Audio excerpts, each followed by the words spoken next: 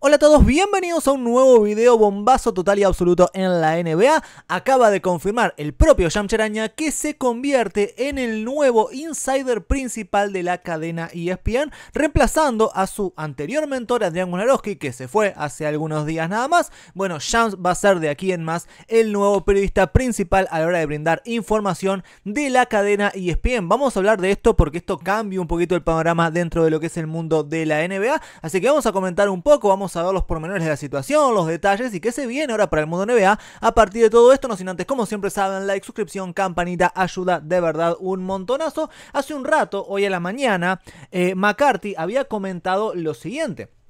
Decía en este caso Michael McCarthy, que trabaja para, para bueno, todas cuestiones de, esta índole de, despacho y todo esto, sabe mucho, digamos, no tanto por ahí pronostica cosas de jugadores o da información sobre jugadores, pero sí sobre todo lo que pasa en el mundo de los negocios, entre comillas, de la NBA. Decía que las discusiones entre ESPN y Shamcharania para reemplazar a Wojnarowski están en las últimas cinco yardas, o sea, estaban ahí, o sea, era inminente, era inminente, decía justamente Michael McCarthy, que se iba a dar. Y un ratito después, más o menos, no pasó mucho entre una cosa y otra, ¿eh? porque entre que McCarthy dijo esto, más o menos 2 y media de la tarde, hora de mi país, hasta que Shams anunció esto, menos de media hora, 20 y algo minutos, fueron lo que pasó entre que Shams Charaña, él mismo oficialmente, pues claro, ¿Quién más lo va a dar el, informe, no? Al no estar Shabo el uno es Sham y el que da las informaciones es Sham y el propio Sham en su propia cuenta personal de Twitter y, e Instagram supongo que lo habrá puesto también y todas sus cuentas de redes sociales dice, es un honor para mí incorporarme a ESPN como el asesor senior de la NBA. Estoy ansioso por formar parte de un grupo increíble de colegas en ESPN y servir a la audiencia deportiva de todo el mundo, dice Shams Charaña. Así que bueno, Shams es el nuevo insider principal de la cadena ESPN, como dice por ahí se une a ESPN como NBA Insider Senior, que es el puesto principal, supongo yo. Eh, va a reemplazar básicamente a Warner, que esa es la situación, ¿no? Eso es lo que hay. No hay mucha más vuelta que darle. Se va Woj, queda Charaña, así que esa es la cuestión. Hablando un poquito de esto, vamos a poner un poco en contexto la situación y después vamos a hablar un poco de qué implica esto para la cadena ESPN y todo lo que se viene. Desde Shams Charania y ESPN acuerdan un contrato tras el retiro de Wojnarowski. Shams ha aceptado un contrato de ESPN para ser el eh, Senior Insider NBA de la compañía, comentan por aquí. Eh, esta noticia llega después de que Michael McCarthy de Front Office Sport informara el lunes que Charania y ESPN estaban en negociaciones contractuales preliminares después del retiro de Adrian Wojnarowski. Eso fue el lunes, es decir, eso fue en el día de hoy de mañana. Primero dijo, justamente, como dice por allí, preliminares. Después dijo, están ahí nomás, o sea, están llegando. Y un ratito después, el propio Shams lo anunció él mismo, diciendo que justamente se, se iba a trabajar a ESPN. quien anunció además que dejaría ESPN el 18 de septiembre. Parece que haya pasado un montón de tiempo, ¿no? Pues no pasó ni un mes todavía de eso. Pasaron tres semanas más o menos aproximadamente.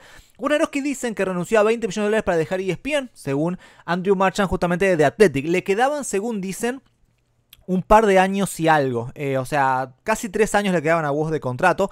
Woj no se, no se sabe bien exactamente cuánto ganaba, porque las cifras también son muy en el aire y son muy de run run, digamos. Pero se supone que Woj ganaba más o menos entre 7 y 8 millones de dólares al año, más o menos por ahí andaba.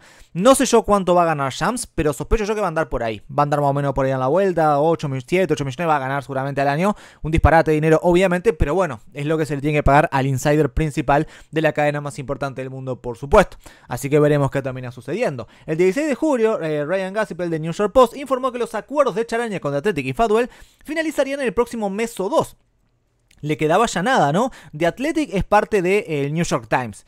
Eh, y si bien es cierto que el New York Times es un medio muy prestigioso y muy grande, muy importante, y tiene mucho dinero, New York Times tiene mucho dinero, eh, no es obviamente tan grande como ESPN, que ESPN ustedes saben que es parte de Disney, o sea, una cantidad de dinero para tirar para arriba brutal. Entonces a partir de esto, y la verdad que si ESPN iba por Shams, era poco probable que de Athletic se lo pudiera quedar. No sé yo si trabajará solo de aquí en más para ESPN, capaz que puede trabajar para las dos, no lo sé la verdad, eso no, no se dio, no se, no se dio el detalle.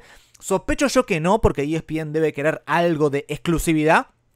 Pero bueno, no sería tan raro tampoco, porque la realidad es que The Athletic es un medio escrito, digamos, e ESPN es más un medio televisivo por ahí, no sería tan, tan, tan incompatible, así como Jam trabaja para Athletic y FanDuel, que sí que es más televisivo, no sería tan, tan, tan loco. Pero bueno, no lo sé, pareciera que no, a priori no sospecharía que no, que va a ser exclusivo de ESPN, pero seguramente sepamos más detalles de la situación en los próximos, en los próximos días. El informante también anunció que abandonó Stadium después de 6 años en la empresa el 19 de agosto. Stadium ya se había ido de allí Y de FanDuel se va a ir seguramente también. Y de Atleti lo más probable es que también al mismo tiempo. A pesar de negociaciones contractuales, Charaña no era la única opción para reemplazar a Wojnarowski, según McCarthy. Había considerado pedirle al experto Adam Schefter que asumiera también el rol de Ultimate Insider y cubriera también el NBA. El experto de la eh, MLB, o sea, béisbol, Jeff Passan, también fue considerado como candidato interno. Sham Charaña apareció en televisión y radio, aunque es conocido principalmente por sus rápidas premisas informativas que rivalizaban con las de Wojnarowski cuando estaban en ESPN y Yahoo Sports. La verdad es que Shams fue el, discípulo, podríamos llegar a decir, de Wojnarowski aprendió el negocio con él y es, es el, el, el, suplente más, más lógico. Es la realidad, o sea, es un suplente claramente más lógico. Es, lo, que hay. Eh, básicamente esa es la cuestión. Y bueno, a partir de eso, a partir de eso, lo normal es que haya quedado Shams. Es evidente, un Shams que ya era un gran insider realmente, porque era muy bueno Shams, obviamente, tenía mucha información de todos lados. Ahora, con la cadena ESPN a sus espaldas, no se le va a escapar una primicia ni de casualidad. Vas a verlo antes que nadie. Los eh, picks de draft, Shams lo va a decir tres días antes, te lo va a decir ya todos los 30 que van, porque seguro, seguro que Shams, reitero, ya de por sí tenía un montón de información. Con ESPN creo que se le hace mucho más fácil todo. Y la verdad que va a tener un montón de info seguramente de aquí en más. Vamos a ver cómo cambia la situación de cara a lo que se viene. Pat McAfee de ESPN ha discutido públicamente la posibilidad de que Charaña reemplace a Wojnarowski, llamándolo la respuesta durante un episodio de Pat McAfee Show el 18 de septiembre. Pat McAfee trabaja para ESPN también, a raíz de el, show de Pat McAfee que se hizo tan, eh, en este caso tan importante y tan eh, público en las redes, digamos, se habla un montón de eso, se hizo re famoso. Eh, Charaña trabajaba ahí con él, con Pat McAfee, y bueno, como ese lazo creo que pudo haber sido también medio importante como para, bueno, abrirle un poquito las puertas a la cadena ESPN también. Me parece que pudo haber sido una especie de empujoncito como para que eh, también Shams por ahí pueda llegar a estar. Cosa no menor, cosa no menor también. Así que bueno, veremos cómo le va. Al final Shams Charaña y ESPN llegaron a un acuerdo. Sí, la verdad es que sí y todos contentos en este caso, con Shams por ahí en la vuelta. Habrá que ver qué pasa con todo esto y cómo, cómo cambia la situación. Esa, eso es lo primero, ¿no? Habrá que ver cómo cambia la situación. A mí esta noticia es una noticia que no me gusta mucho porque antes por lo menos había una cierta rivalidad entre Shams y Wog, había información por distintos lados, había distintos medios cubriendo diversas situaciones, habría diversas campanas, digamos, habría como una, un abanico de posibilidades de gente cubriendo informaciones diversas. En este caso creo que queda todo muy monopolizado por ESPN, porque justamente si ESPN hubiera dejado a algunos otros candidatos, a Schefter o a alguno de esos, Shams iba a tener buena información también y estaba bueno realmente esa rivalidad justamente.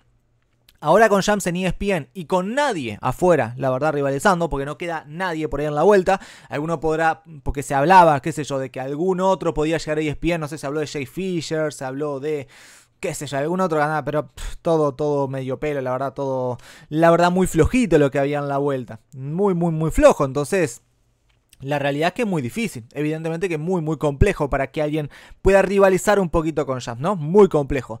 Así que bueno, Shams queda como medio solo, Shams como que se despega, ¿no? Había gente que bueno, se alegraba entre comillas de que Wojnarowski no siguiera porque bueno, Woj tiraba mucha primicia y bueno, no estaba bueno que monopolizara tanto la información. Bueno, ahora va a ser igual, pero mil veces peor, básicamente, porque va a estar Shams solo, básicamente, ¿no?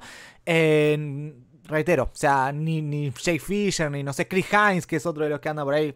Nadie puede rivalizar con, con, con Shams ahora asumiendo la posición de Woj en ESPN. Imposible, cero chance.